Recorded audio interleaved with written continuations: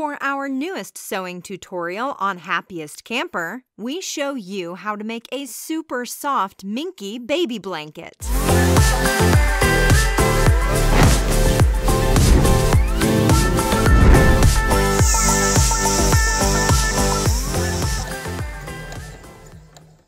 This baby blanket is easy and turns out so cute and cuddly.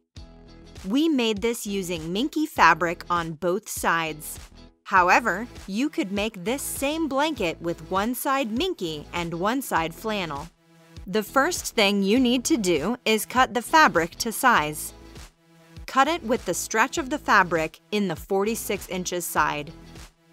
Then, cut the top fabric. Mine was the black and white Minky Cuddle to the size of 28 inches by 38 inches. Make the stretch of the fabric on the 38-inch side. You need to mark the center of each side of the fabric with pins. Simply fold the fabric in half and put a pin at each end where the fabric folds.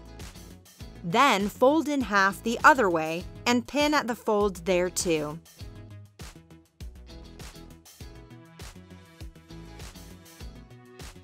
Do this to both pieces of fabric.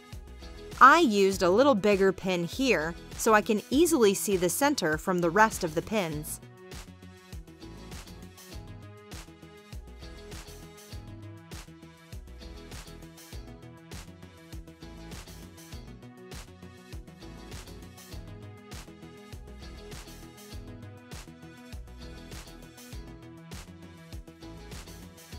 Lay the back fabric face up, working first from the stretchy side of the fabric, 46 inch side.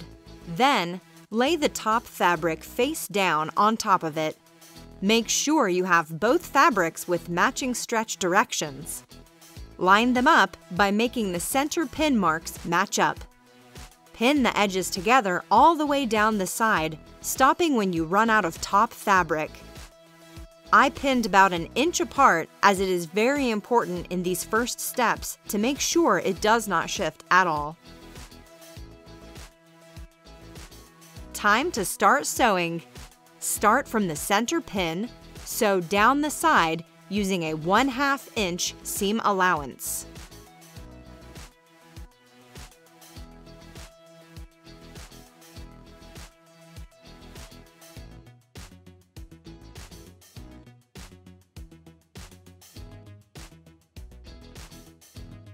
Stop stitching a half inch before the end of the top fabric.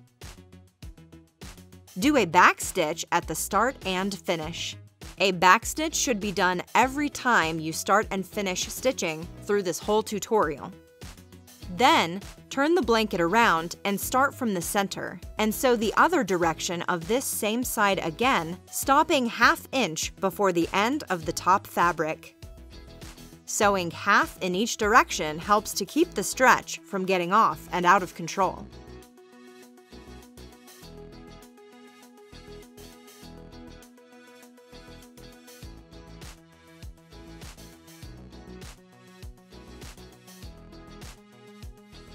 Repeat this process with two more sides. When you are pinning and come to the edge that has already been stitched, just push the extra backing fabric out of the way and pin that top fabric lined up with the backing fabric until there is no more top fabric.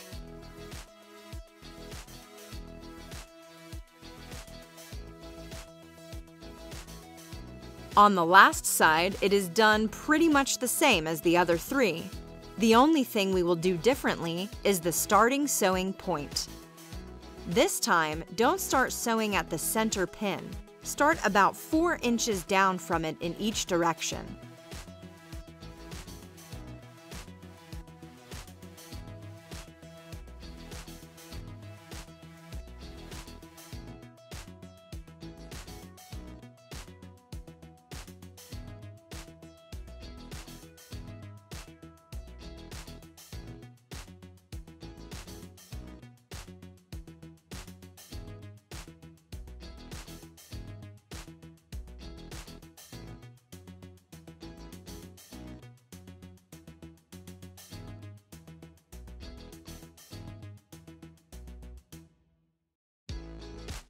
This will leave about an 8-inch opening that we will need later to turn it right side out.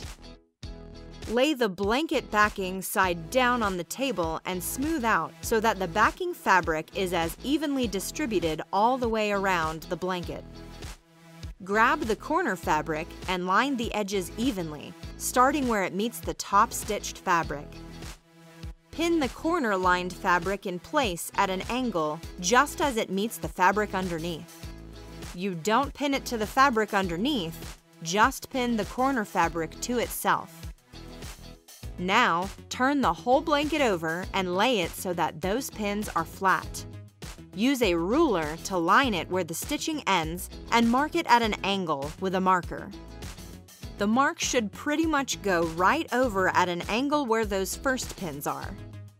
Add more pins just to the side of those to make sure nothing moves. Sew it together right down that mark you made, removing the pins in that line as you go. Leave the pins to the side in place until after stitching is done. Repeat the last three steps for the other three corners.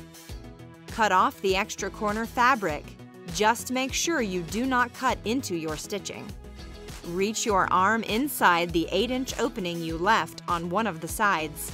Turn the whole blanket right side out. Then, using your finger from the inside, push those corners to make sure they fully turned out and are formed.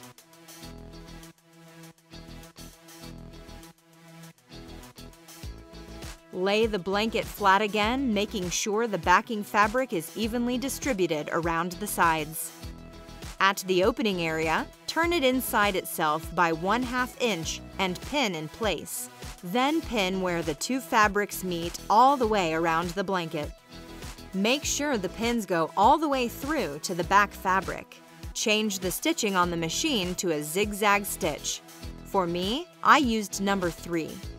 Using the zigzag stitch, stitch all the way around the blanket where the two meet and are pinned.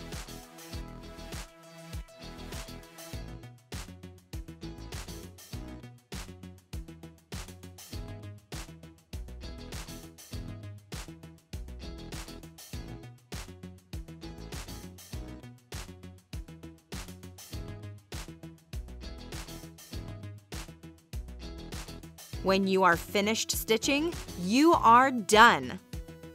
Now you have a super cute, soft minky baby blanket.